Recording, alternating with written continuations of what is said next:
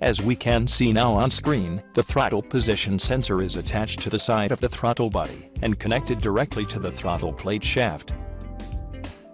The throttle position sensor or TPS measures throttle opening, as well as rate of change. The TPS is a variable resistor, and it is a main input to the ECM and TCM, or transmission control module. The three wires to the TPS are the ECM provided ground, the 5 volts reference line also regulated by the ECM, and the TPS signal line. It is at this signal line, where all measurements regarding the TPS are going to be made. In order to test the TPS ground, you need to remember three main test points, these are the TPS sensor ground, and the battery negative and positive terminals respectively. A second set of test points to remember are the TPS 5 volts reference line and the battery negative terminal. By measuring the voltage at these two points, you can safely assume that the ECM is providing the 5 volts reference. The TPS ground and the 5 volts reference line are needed for the TPS to function properly.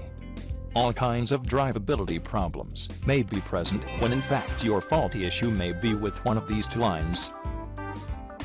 And yet, another test that is done is jumping our TPS signal line to the TPS ground, and then afterwards to the TPS 5 volts reference, and watching the voltage change on the scan tool.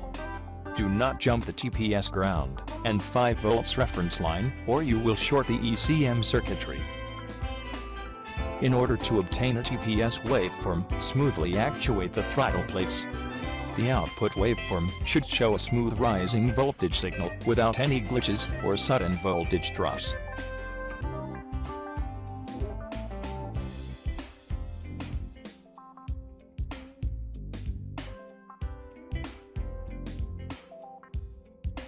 This is a waveform capture of a defective throttle position sensor. Notice the glitch showing a blind spot, which is indicative of a faulty TPS. Be extremely careful in analyzing a TPS signal wave. It is sometimes very difficult to see a faulty or flatlining TPS on the scope screen.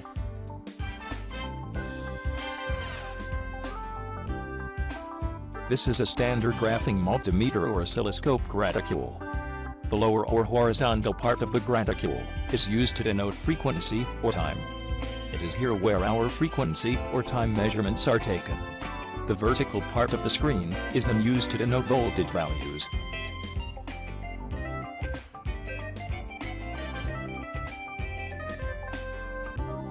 If using an oscilloscope, use the standard navigational buttons to adjust the frequency or time setting, as well as voltage. On a graphing multimeter, you can do the same by using the thumb wheel and the Y and N buttons. Adjust the graphing multimeter according to your needs.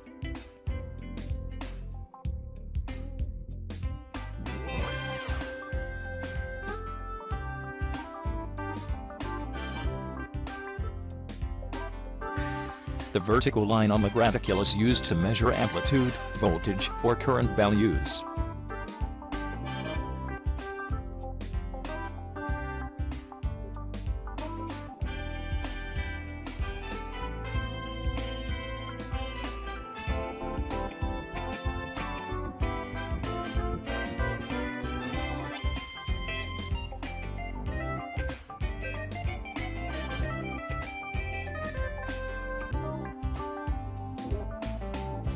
From this point forward, all TPS testing will be done at the connector side. This makes it simple and easy to test.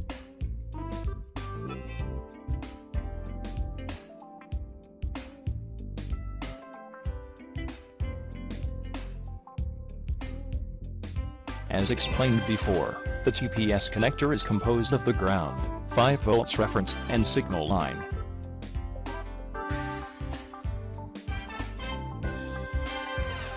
First, locate the ground wire at the TPS connector. It is here where all of our TPS ground tests are going to be made. Start by connecting a suitable wire tap to the TPS ground wire. The first step is to perform a voltage drop from the TPS ground to the battery ground. As a general rule, no more than 100 mV should be seen with the engine running. Remember, the 100 mV rule can be applied to any computer-controlled ground circuit. In our case, our TPS ground circuit is well below the 100 mV limit. In the event that a value higher than 100 mV is seen, this is a sign of impending, high resistance present at the ground circuit. Then, switch the graphing multimeter to battery positive. Since you are now reading across TPS ground and battery positive, battery voltage should be seen on the multimeter screen graticule. This is done to double check the TPS ground circuit.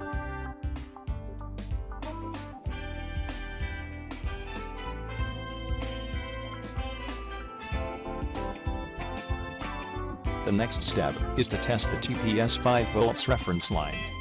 This is done by taking a reading from the TPS 5 volts reference line and battery ground.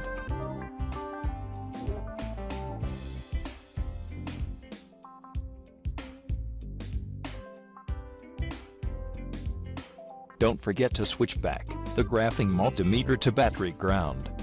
In our case, the meter should show the full 5 volts reference value. This indicates that the reference circuit is working properly. You do not have to disconnect the TPS sensor connector in order to perform this test. Step number 3. Connect the graphing multimeter lead to the TPS signal wire. This is in preparation for our TPS idle signal test. Compare the TPS idle signal voltage value to proper specifications. This is the closed throttle TPS value, which will be interpreted by the ECM as a closed throttle input signal. In the event that the TPS closed throttle signal is off, perform a minimum air rate adjustment. The minimum air rate adjustment will be explained further along this video.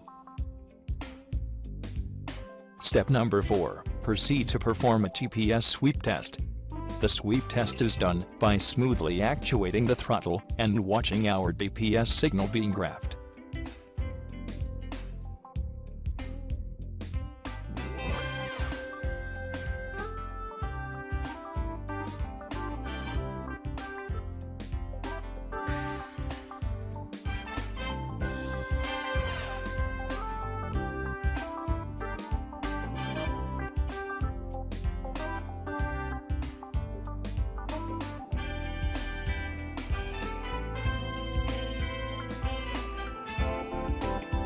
The graphing feature is very convenient and absolutely necessary during throttle position sensor sweep tests.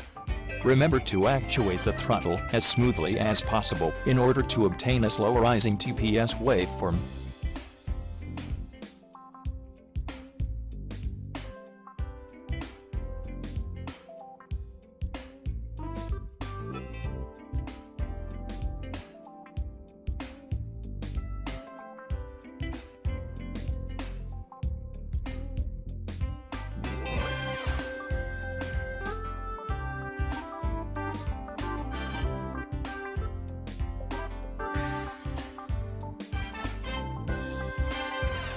Freeze your TPS signal sweep and analyze the slow rising voltage value.